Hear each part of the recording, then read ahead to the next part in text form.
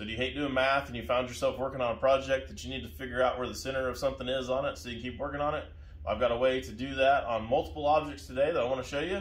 It's going to be quick and easy and no math. Welcome back for another Tips and Tools Tuesday with your host Anthony Bronner from Hardcore Fab. So the first situation I want to show you is this right here. We want to find a center point here on these two pieces of material that overlap each other. It doesn't have to be square like this one is. They can be out of sync from each other, but uh, this one is square. So what we're going to do here is we're going to find right here on the edge of where they cross, and we're going to line up a straight edge there, and then we're going to come over here to the other side. We're going to line up straight edge over there. We're going to take into consideration the thickness of our piece that we're marking it with. In this situation, I'm just using a scribe. That's uh, or an old pick is what it is actually.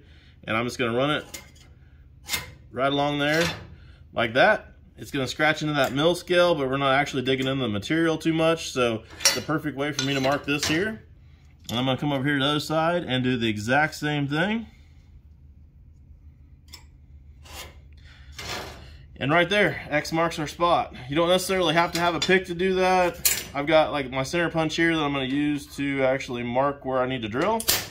I could use that to scratch that if I wanted to, or a marker, or I've even used like my pocket knife before. You can go in there and do something like that with pocket knife. So whatever you got laying around, just make sure that you take in consideration the thickness of whatever it is that you're doing so that you're actually truly in the center.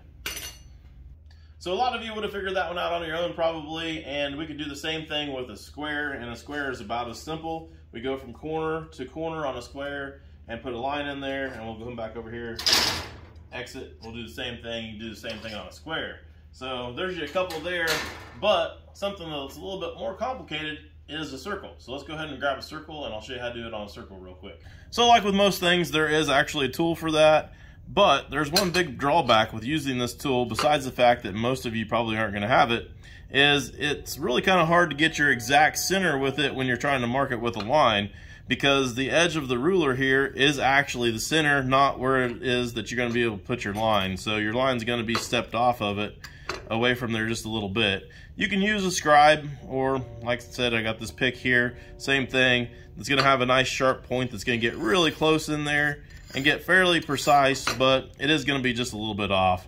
You could do that multiple times around here, and then you could get a pretty good idea of where it's at. But there's another way to do it without having the special tool. So you take your uh, ruler, any kind of ruler that you've got, whatever, and you can start marking out some stuff here. Just pick a number that kind of goes about a third of the way across. In my situation here, that's a six. So I'm going to draw a line all the way across here. And then in the middle of the six is three, so we're gonna mark our center. I'm gonna do that three times. Doesn't really matter where you do this at as long as you stay with the same number each time. So now we got our three lines marked on there. We can take a regular old square. We can line it up with our line here and then line it up with the center line. And just like that, you have your mark for center. Well, hopefully I helped somebody out there. Thank you guys for watching, and we'll see you guys on the next video.